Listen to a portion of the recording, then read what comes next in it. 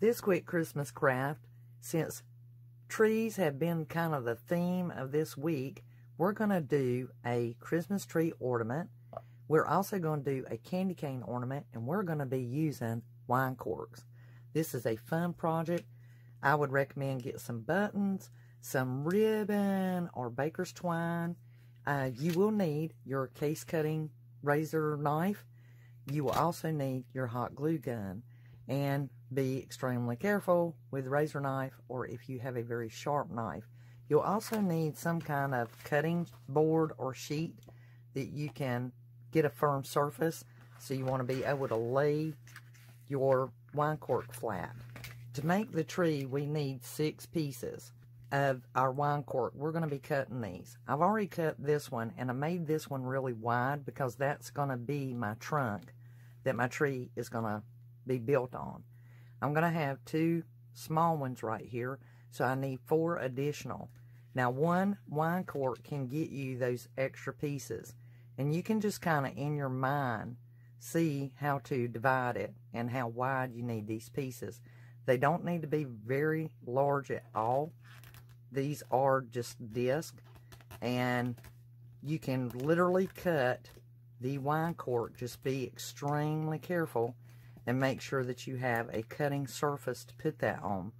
We want this beautiful, smooth cork side. You can use the white side if you want to, or you can turn them vice versa.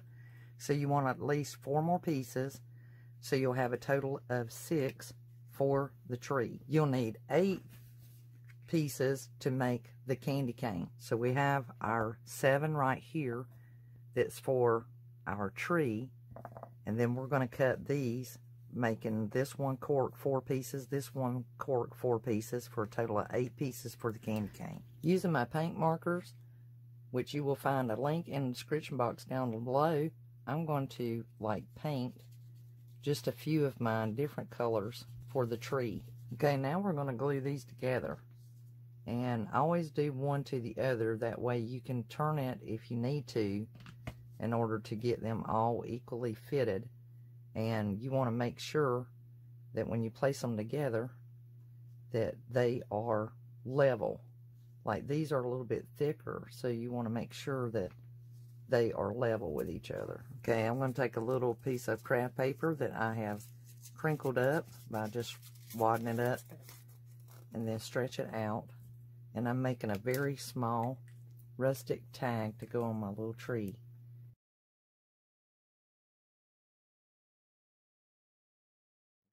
Ribbon right here from Dollar Tree. And basically I'm going to use that as its garland. And just a little bit of glue, just enough to hold it. We're going to take our little bit of string there. It's got our joy and our button on it. We don't want to cut that just yet. It's going to also be our hanger. I have selected two buttons. So I glued the little button onto the big button and glued it across the dangler there. And using that same string that the dangler is attached to, created the hanger. Voila, we have our little button, wine cork, Christmas tree. And we have our little dangler that says joy on it with our button.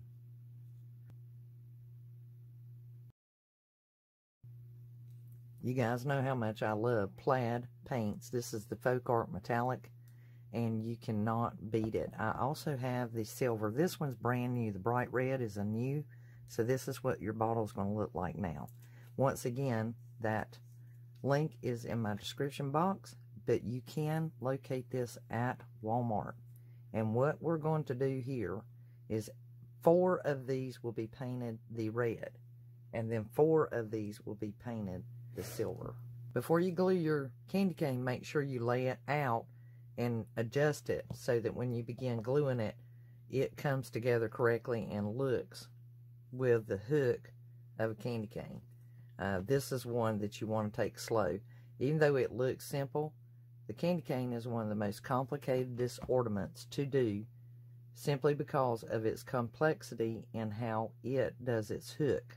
So this turn right here is what's going to make that candy cane form correctly and bring about its uniqueness. And you've got to get that just right. So make sure that you work it and adjust it before you start gluing it together and kind of get a feel for it. Now one thing on your candy cane is to glue use some ribbon on the back side because when this twists around on the tree it will be seen but not only that it will secure your candy cane because as I said before the candy cane as you can see it keeps wobbling. It is one of the most difficult ornaments to make. It looks easy because it's so simple but it is one of the most delicate ornaments to make uh, bar none. Uh, the candy cane is always the most complicated because of the gravity pull and the structure of that bend, that little hook that's so unique to the candy cane. So you're always better to put you some security there. Now once I assembled my candy cane, I took that baker's twine and wrapped around it and glued it into the back. That gave it a little more definition as well. I then crinkled up some kraft paper, wrote Merry Christmas on it, and created my tag. I used the same baker's twine to attach that tag and to also make the hanger for the candy cane.